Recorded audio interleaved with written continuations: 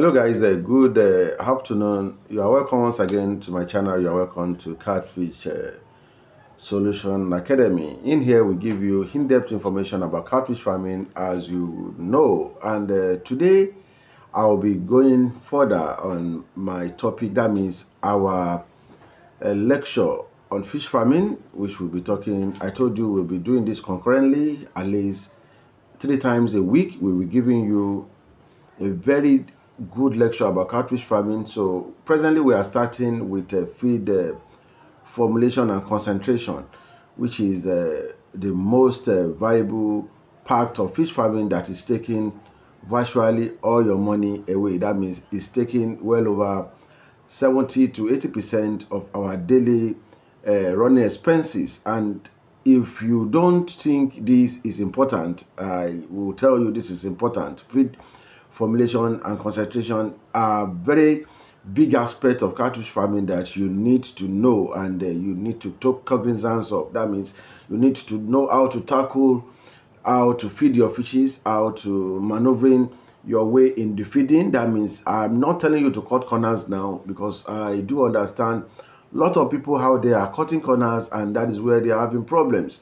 The it, this is all about garbage in, garbage out. Is what you hate that your body tissues will bring out. Yeah, if you see a very healthy man, that is an healthy man, you have to look at them from their skin. This is important. And if you see an obese that, that they are not hidden, there are some people that have tendency of uh, of being obese, that being uh, big, and uh, the they are not feeding as required. That means they are not concentrating their feed well. I'm talking about women now. So by the time you look at them with a tiny person that is feeding well, that means the balance of the food is being there, is is balanced. You will see the difference. The skin will show. The the the in short, the, the physique will show. So it is important for you to do that too as well for your fishes. So that is why sometimes when you go to the market you saw some fishes at the basin, that means at the bath, placed by this uh, so-called market woman.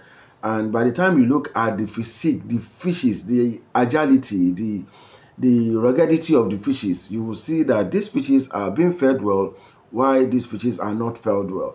I can recall uh, some times ago when, uh, because there's a fish I did and I sell them for the pepper soup uh, seller in my area, that means I tell to the bars and the hotels because to tap into other value chain to add values to my fishes because the price of which these uh, women are buying are not concurring by me. So I had to get the pepper soup seller around me and the bars and bear around me to sell for them.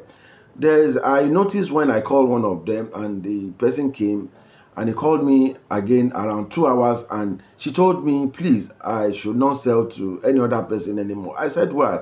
He said because the fishes are very very good.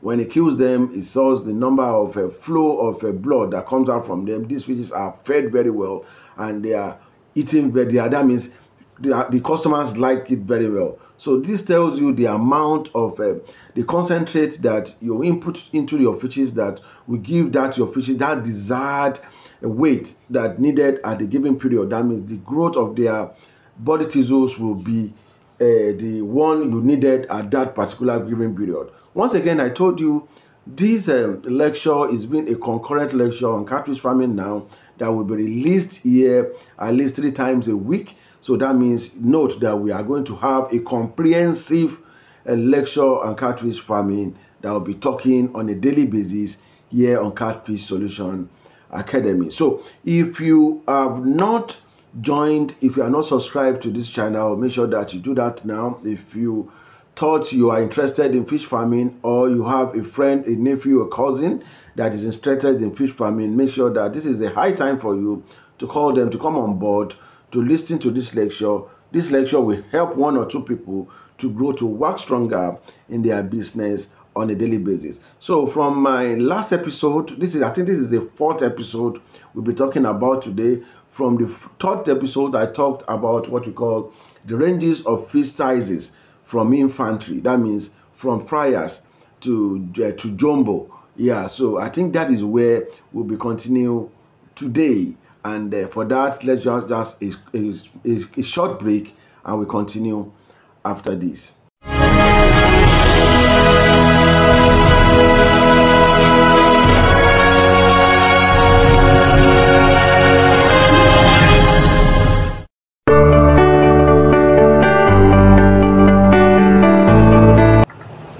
So once again, you are welcome. We will be talking about uh, your feed formulation and concentration. My name once again still remain Odutola Isa Abiodun DTM, your great uncle on this channel. So today I'll be moving forward in talking about the recommended feed size for your big fishes.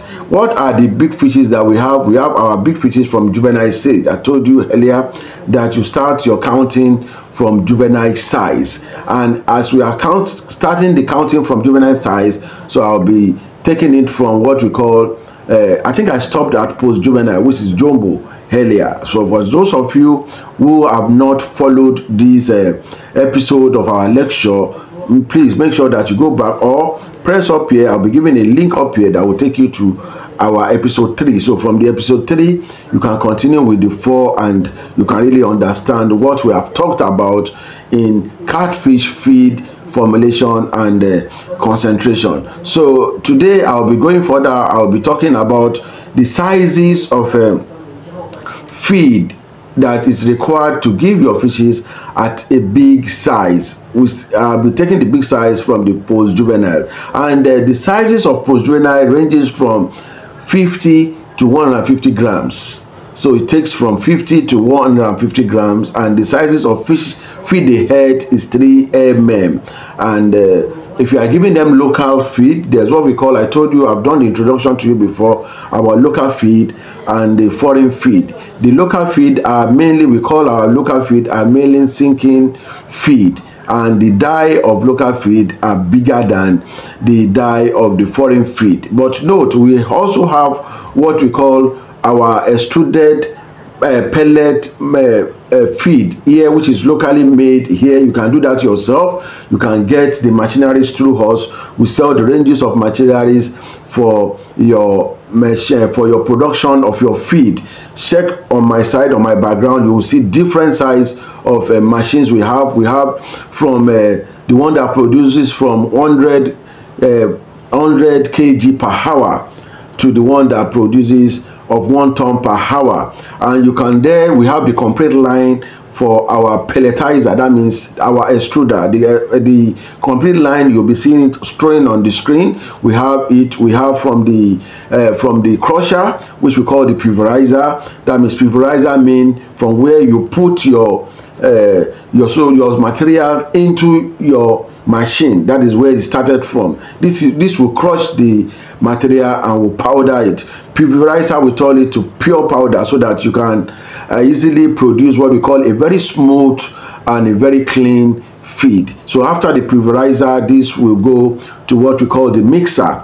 And after the mixer this will what we call the burner. And after the burner it goes into your extruder to extrude your feed. After the extrusion this will go into what we call the dryer. And after the dryer this can if you are into packaging this will go into what we call the oil spilling machine. And after the oil spilling machine this will call to go this will go into what we call the packaging. And after the packaging the sealing after the sealing all is done. So you can conveniently have your feed produced to you on an hourly basis being packed for you if you want to go into that. With all this we have all those machines available. And if you need any of this if you need any instruction of this make sure that you contact the number you are seeing on this screen. And i'll give you details analysis on how to operate on how to concentrate a very good feed for your fishes on how to move on with this uh, business. So make sure that you do that now if you're having those challenges. So i said earlier that from then you now go to what we call the melange. The melange uh, uh, is a greek um, slagon which uh, is a which comes from mela. Mela means all different size of anything. For example if you have phones if your phones or you know phones are not of the same sizes they call it melange. Every anything that you pack together of different sizes is what we call melange. So it's an italian name it's a greek name which we call mela. So that's where we extracted melange for. So melange are fishes ranges from 150 grams to 400 grams. So that means fishes from 2 to, uh, 2 to 1 kilo 3 to 1 kilo 4 to 1 kilo 5 to 1 kilo 6 to 7 to 1 kilo depending on how you grow your fishes. And note from this point i'll still be giving out a video for you on how to feed your fishes on that basis that can conveniently give you what we call a melange. That means we i will dissect that means you know i have a book on melange cartridge farming. The book will break down how to feed maybe you want to achieve four to one kilo the amount of feed that will feed for your fishes to four to one kilo so you, that you won't be overfeeding or underfeeding. So you can get that required percentage of that ranges. If you want five to one kilo how to feed your fishes for five to one kilo all these will be narrated to you on this video. So let us continue. So after melange we have uh, the the and that melon size they are going to eat 4 mm of uh, uh, floating feed that means the foreign feed and they are going to take 4.5 of the sinking feed. So after then we come to the medium size. Medium size fishes are fishes that ranges from 300 grams to 600 grams. That means uh, if you from 300 grams to 600 grams all that all the fishes in that piles are what we call uh, medium sizes. And medium sizes eat 4 mm they you can give them 4 mm size of uh, foreign feed and uh, 4.5 uh, mm of uh, what we call the sinking feed. And from there you will now go to what we call the table size. Table size start from uh, 600 grams and above. So you can get 600 grams to 10 kilo depending on the kind of species of fishes you are rearing. Yes i said 10 kilo because i know if you are the type that like uh, rearing fishes for a very very long time. If you have what we call the etrobancus or we have the likes of the what we call the uh, claras um, the the what we call the hybrid which is um, claras cum uh, uh, etrobancus we call it etroclaras etroclaras can conveniently give you uh, the sizes at a particular given period. For those of you that can raise yours to 10 years i don't know. So that is the ranges. And with that you can seize them with the the heat the size of feed of like 6 mm and uh, 6 mm to to 9 mm so you can give them 6 mm to 9 mm so from this uh, point uh, we will be we will be going to uh, what we call the feeding frequency. Feeding frequency if you, of your fishes